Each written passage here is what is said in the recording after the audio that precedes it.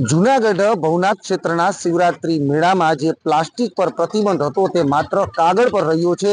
કારણ કે જે આ દ્રશ્યો તમને બતાવવા જઈશ કે મેળા દરમિયાન જે ભાવિકો દ્વારા કચરો કરવામાં આવે છે, તે કચરાની અંદર માત્ર ને માત્ર વધુમાં વધુ પ્લાસ્ટિકની બોટલો જોવા મળી હતી. તો તંત્ર દ્વારા એવું પણ જાહેરનામું બહાર પાડવામાં આવ્યું હતું કે પ્લાસ્ટિક છે તેના પર પ્રતિબંધ મૂકવામાં આવ્યો છે. પરંતુ આ જે પ્રકારેની અત્યારે જે વાસ્તવિકતા છે, દિવ્ય ભાસ્કર આપણને બતાવી રહ્યું છે કે જે શિવરાત્રી મેળાનો ઢગલાબંધ કચરો છે, જે બોરીઓ ભરેલી છે તેમાં વધુમાં વધુ માત્ર ને માત્ર પ્લાસ્ટિક છે.